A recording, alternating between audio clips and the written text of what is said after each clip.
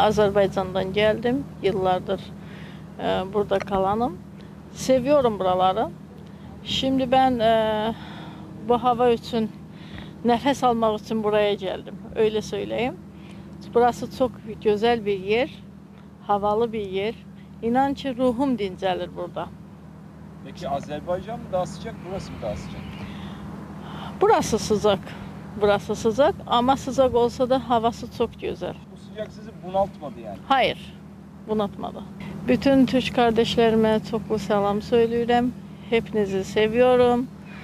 Ee, devlet bir millet iç.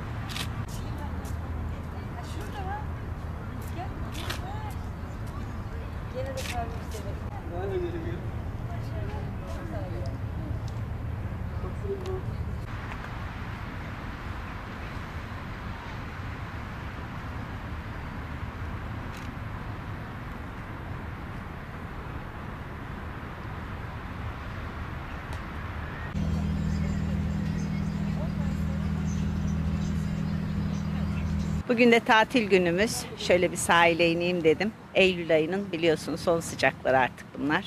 Keyfini çıkaralım biraz, yürüyüş yapalım dedim.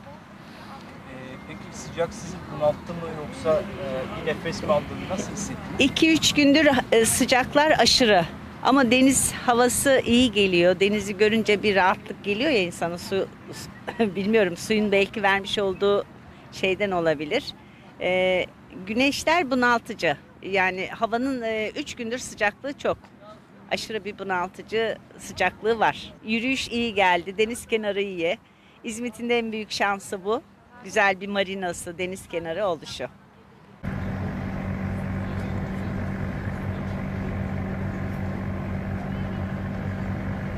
Ekrem